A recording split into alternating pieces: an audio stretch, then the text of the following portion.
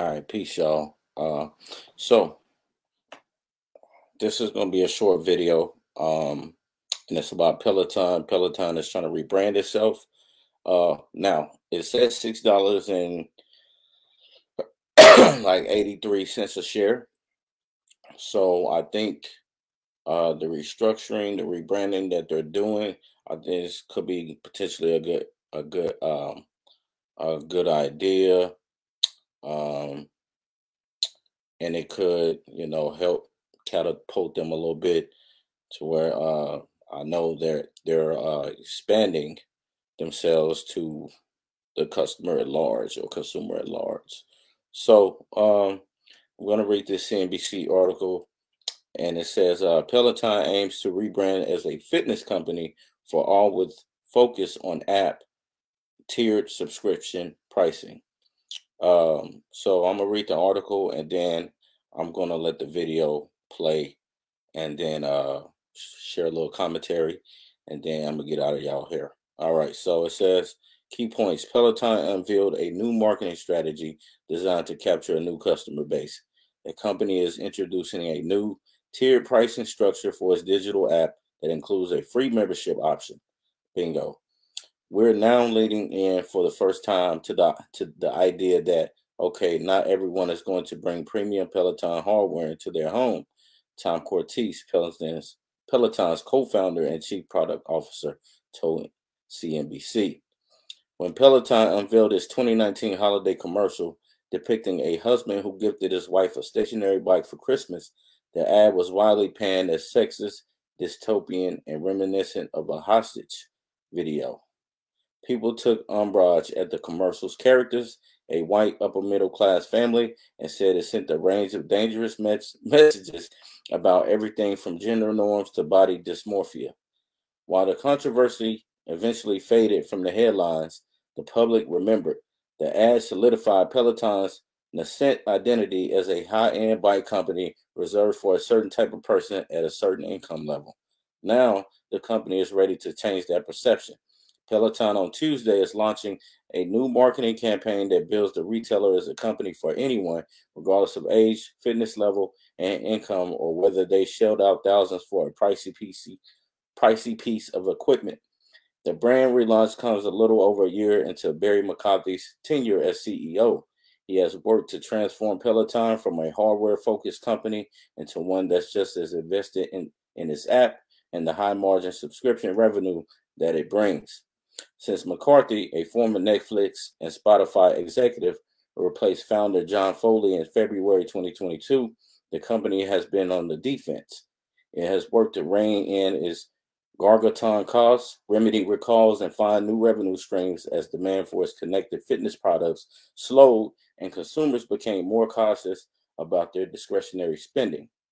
While the company has yet to return to profitability, it has managed to stop the bleeding with a new marketing chief at the helm, Peloton says it's ready to reintroduce itself to the world and shed the image the holiday ads seared into some minds. We know that the perception externally does not match the reality of who we are. Peloton's chief marketing officer, Leslie Berland, who started with the company in January and led the relaunch, told CNBC in an interview. This company historically has been thought of as an in home bike company for fitness enthusiasts, but over the years, it has evolved into something that is much more bigger, much more broader than that. Uh, Peloton focuses on the app. The relaunch comes along with a new tiered app strategy that includes an unlimited free membership option with no credit card required and levels that cost $12.99 and $24 monthly. The content people will have access to varies by the level, and in some cases, Legacy users will have less access come December when the grace period ends. Currently, people who pay $12.99 a month to use the Peloton app can do a bike class every day, but in December, they'll only be able to do three per month. The relaunch includes a gym function that allows users to take Peloton's app into the gym with them and create custom workouts. Peloton is also saying goodbye to its trademark fire engine red. Wait, Peloton is also saying goodbye to its trademark fire engine red and black colors in favor of a new mix of hues. It says better captures the energy of a workout and the afterglow that comes. New branding materials include shades of purple, pink, green, and a lighter red. In a splashy 96, 90 second marketing video shared with CNBC, Peloton's app takes center stage. It shows people of all shapes, sizes, fitness abilities, and ages using it to take using it to take strength and yoga classes at home, but also in gyms, which have long been considered a threat to Peloton's business. While Peloton features its bike, tread, and row machines in the clip, it does not show the hardware until about 30 seconds into the video. And you know, if you guys want to see that, y'all can just go to YouTube. Um, the message is a far cry from Peloton's earlier commercials and marketing materials, which predominantly feature ultra fit athletes using its equipment. We're now leaning in for the first time to the idea that, okay, not everyone is going to bring premium Peloton hardware into their home. Tom Cortese, Peloton's co founder and chief product officer, told CNBC in an interview. Our members have a phone. We're on their phone. They take their phone where they want to go. And if you want to put the Peloton app on someone someone else's hardware, that's fine. And if you want to bring it into someone else's gym, that's great. Peloton insisted that the focus on selling subscriptions does not mean it has abandoned its hardware business and said the company is on a dual track with both.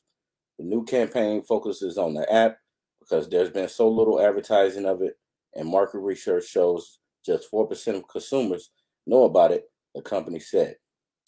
When we first started coming out of COVID, and the press likes to be tough on Peloton, it was everyone going back to the gyms, but we know that our members were using our products in the gym, said Jennifer Cotter, Pel- Peloton's chief content officer. She pointed out that Peloton's strength training content, not as cycling or running classes, is the number one type of class for digital members and the number two among those who have Peloton hardware. It shows how eager users are to consume Peloton content has to do with this equipment. When it comes to this initiative, we're just excited that number one, our members will feel reflected and new members will feel like Peloton is for them, said Cotter. And then, you know, the tiering structure allows us to welcome people up the ramp. Brianna DeSerio, 32, has been a Peloton member since the early days of the pandemic. She said the brand's competitive and aspirational appeal originally led her to buy a bike. When briefed about the company's new marketing strategy, she told CNBC she she supports the move and is focused on being inclusive. But she said there's a chance making Peloton accessible to everyone to dilute its brand. It's kind of like a club, and now everyone's coming into the club, said DeSerio. Berland Peloton's new marketing chief isn't concerned about the brand losing strength. She said the new marketing strategy reflects what the company already is. Our members, our instructors, our classes, our content. That is unchanged. The company has evolved to all of this, said Berland. It's time for the brand and the marketing to represent all of that and all of its vibrancy. Liz Coddington, Peloton's chief financial officer, said creating different points of entry to the company's content will set it up for long term growth. What we're doing is we are opening up the total addressable market to Peloton to people who may not have considered us in the past because we weren't really speaking to them, said Coddington. The real goal truly is to just to bring more people into the ecosystem of Peloton, however they want to come in, and then help them on their journey and how they want to consume our content over time, whether it's through the free option, through the lower tier, or through the higher tier, or eventually buying or renting our hardware, she said. The company has not incorporated potential upside from the app and marketing strategy into its financial outlook. It says some paid app members will likely downgrade to the free membership option. In the past, churn rates had briefly spiked when Peloton changed prices, but soon returned to typical levels, she said. We are optimistic about it, said Coddington, but it's hard to know until we know. All right, so that's the article. I'm going to play um, the video, um, and y'all can just listen to it. One second. these ads off of here.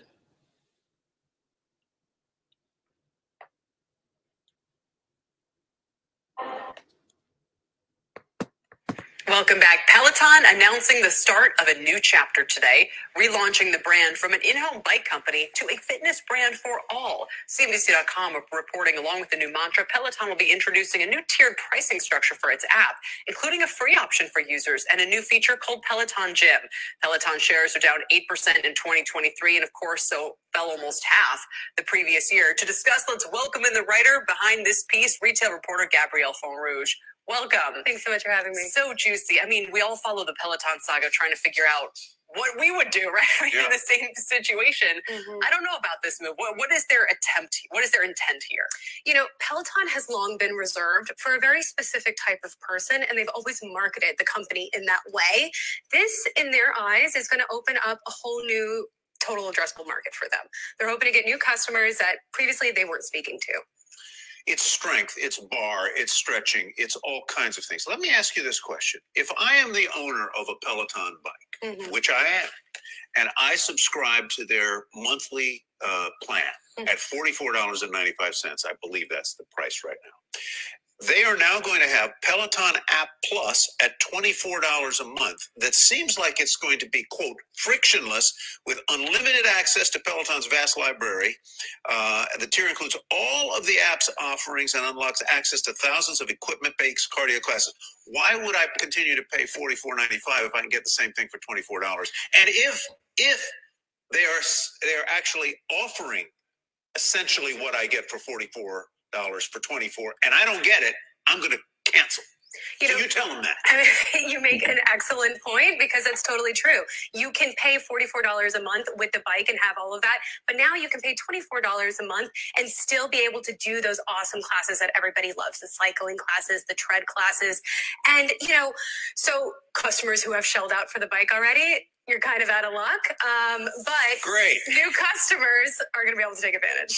No, it, listen, it, it's never a great idea to alienate your existing customer base. No, I'm and thinking of Tesla. I bought a Tesla, then he cuts the price.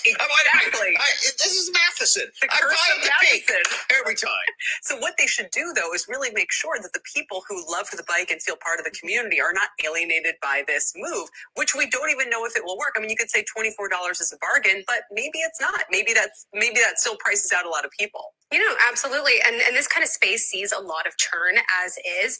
And I spoke with some Peloton users for this story, and a lot of them were like, you know, Peloton was like a club, and now everybody yeah. can get into the club. Yeah. You know, the brand isn't. Cons- I asked them, I was like, "Are you concerned about brand dilution?" And they said, "Look, this is how Peloton has always been, and now Peloton inside is now Peloton on the outside. And what's the idea that you can take the Peloton classes to the gym on your phone? In other words, you would take your phone into the gym and follow my favorite instructor. I, look, I love the product. It's, it's a fantastic product.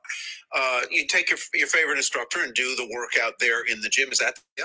That's exactly the idea. You know, before Peloton was always seen as anti-gym. Gym was an existential threat to their business. But they realized that's holding them back. I mean, the shares speak for themselves, the revenue speaks for themselves. The company is not what it once was. Mm-hmm. So they need to kind of bring other people in, find more use cases for this. So with the gym app, you can or with the gym function in the app, you can set up a custom workout.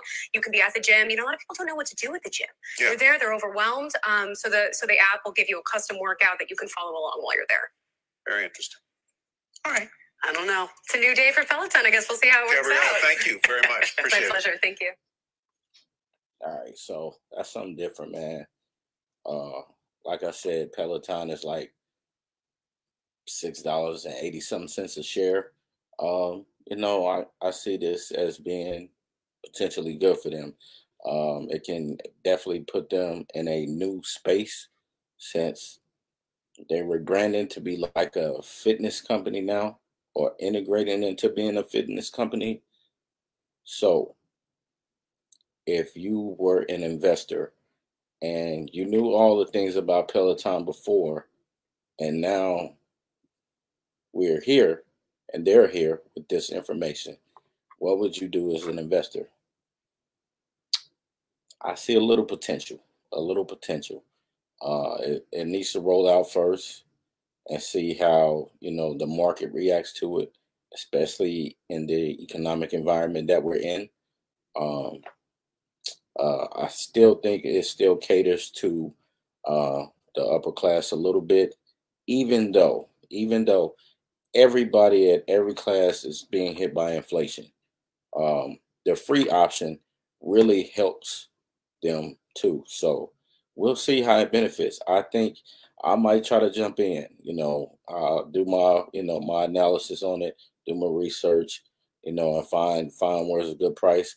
Peloton has been going down and and share price for the last two years, so three years actually. So you know, 2020 was you know the hiatus, the you know parabolic moves running up in price in 2021, 2022, uh, reset. You know, so now we're here. It's six dollars and eighty three cents a share. Um, it's an option. It's an option. So, you know, that's what I have to say about it. That's my commentary. Uh, I, I for one, I don't have a Peloton bike or hardware. Um, I go to the gym regularly. Um,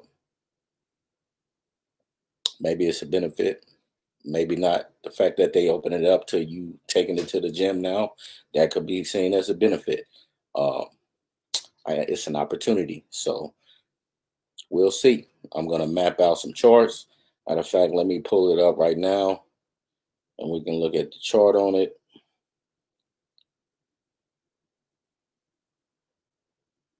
And let's do okay we do it on the daily Yes, it's it's been it's been downtrending for a while now. Y'all can see that. You can see the chart. You probably can't see it clearly, but you can see the trend. So that's where we at with that. But uh that's it, y'all. I made enough content for today. I'm tired. Need to sleep. Catch y'all on the next one. Peace, power, and profit. Follow all my social medias at Wall Street Logic on IG and Facebook, uh, at Kroft Sneakers on IG and at Facebook. Thank you for watching.